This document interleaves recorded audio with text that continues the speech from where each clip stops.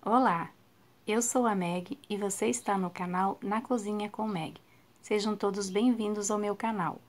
E se for a sua primeira vez aqui, não saia deste vídeo sem inscrever-se que fica logo abaixo do vídeo em vermelho bem grande. É só clicar em cima e logo você estará inscrito. Também compartilhe as minhas receitas com seus amigos, com seus familiares, assim mais pessoas conhecerão o meu canal. E ative o sininho Aí toda vez que eu colocar uma receita, você é notificado e já vai ficar sabendo o que a Meg está postando. E hoje eu preparei para vocês o melhor brownie que eu já fiz em toda a minha vida. É uma receita super simples, super fácil de fazer e eu tenho certeza que você vai gostar. Sabe aquele brownie que fica molhadinho por dentro e com aquela casquinha crocante por cima? Gente, este brownie é tudo de bom. Então vamos aos ingredientes e ao preparo?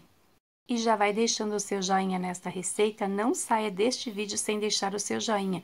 E compartilhe ela, mande no WhatsApp, no Facebook dos seus amigos, assim mais pessoas conhecerão o meu canal.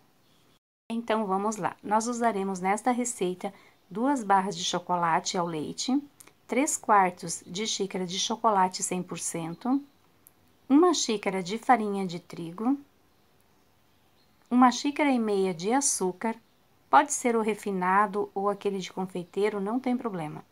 Quatro ovos e três colheres sopa de margarina. Eu levei ao fogo uma, uma bacia pequena com um pouquinho de água e derreti em banho-maria o chocolate com a margarina, mas você também pode fazer no micro-ondas se preferir, tá? Eu prefiro em banho-maria. Não leva dois minutos e olha como fica bonito, fica muito brilhoso, é muito bonito esse chocolate com a margarina. E agora nós vamos reservar para fazermos o nosso brownie, para começarmos a fazer. Agora nós vamos pegar um bol grande, colocamos os quatro ovos e o açúcar. Vamos bater muito bem com o fouet, não precisa colocar no liquidificador, na batedeira, é na mão mesmo. Você vai bater por mais ou menos um minuto, um minuto e meio, até dois minutos, tá? Para misturar bem, para que fique um creminho bem bonito. E depois a gente vai colocar todos os outros ingredientes aos poucos. Mas é importante que a gente bata bem os ovos com o açúcar é, para ficar bem homogêneo, para o açúcar ficar bem, para ficar um creme bem bonito. E enquanto eu vou batendo, eu quero mandar um super beijo para todas as pessoas inscritas no meu canal, agradecer de coração por vocês estarem aqui e pedir para que vocês compartilhem as minhas receitas, com seus amigos, com seus familiares, assim mais pessoas conhecerão o meu canal. Quero mandar um super beijo também para Cristal do canal Oráculos Cristal Sol e Estrelas. A Cristal, ela é um ser de luz, é uma pessoa iluminada. Ela tem umas tiragens diárias com um baralho cigano. Então, se você não conhece o canal da Cristal, dá uma passadinha por lá. Eu tenho certeza que você vai encontrar muita luz, muita paz no canal da Cristal. Ela é conhecida como a cigana do amor. Ela tem umas tiragens assim maravilhosas e geralmente quando eu tô com alguma alguma dúvida ou quando eu tô apreensiva, eu vou no canal dela, eu procuro o tema que eu quero e pode saber, a resposta eu sempre encontro ali. Cristal, muito obrigada por você ser esse ser iluminado e ajudar tantas pessoas. Um beijo no seu coração, maninha.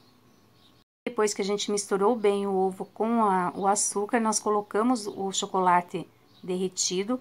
Agora o chocolate 100%, você encontra esse chocolate 100% muito fácil, tá? É, e dá uma diferença muito grande você colocar esse chocolate 100% e o, cho achocolatado, por exemplo. É, dá uma diferença na massa e no sabor também. Então, procure quando você for comprar para fazer brownie, comprar o chocolate 100%, que vale a pena. Você encontra super fácil nos supermercados. E olha como a massa fica bonita, fica uma massa brilhante, assim, muito bonita.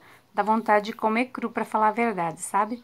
E agora a gente vai colocar a farinha de trigo. Vamos misturar novamente, bater por um minutinho mais ou menos e estará pronto para ir ao forno.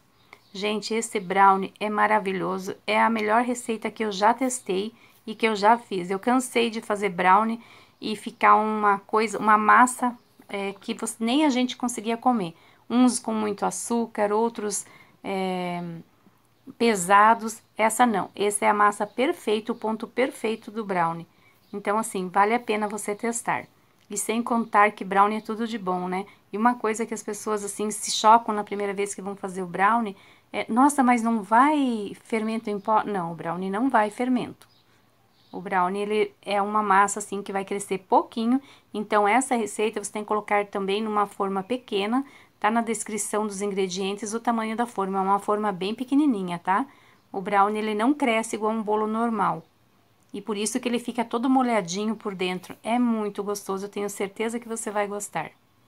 Gente, eu estou bem animada com o meu canal, eu já estou com mais de 3 mil inscritos e eu estou separando umas, umas receitas assim especiais para vocês, tá? Que eu quero fazer com muito carinho.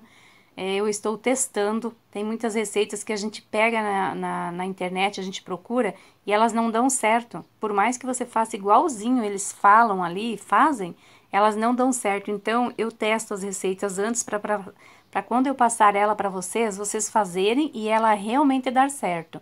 Para vocês não falarem, nossa, mas ela passou uma receita que não tem, nem com reza não sai, não dá certo. Não. As minhas receitas vocês podem fazer tranquilos e olha, vem muita novidade boa por aí. Me aguardem para 2021. E você vai colocar, depois que você bateu bem a massa do brownie, você vai colocar ela em uma forma pequena, vai colocar papel manteiga para que saia mais fácil, tá? Aí você só tira ele, assim, não tem erro de grudar, de, de você não conseguir tirar. Então, o papel manteiga também é muito importante na hora de fazer o brownie, tá? Você vai levar ao forno pré-aquecido por 10 minutos a temperatura de 180 graus e você vai levar por 25 a 30 minutos. Vai depender do seu forno, tá? Então, você tem que fazer o teste do palito. Se o palito sair sequinho, ele já está pronto. E olha como ficou bonito o nosso brownie. Bom, eu espero que vocês tenham gostado da minha receita de brownie. Um beijo e até a nossa próxima receita aqui no canal Na Cozinha com Meg.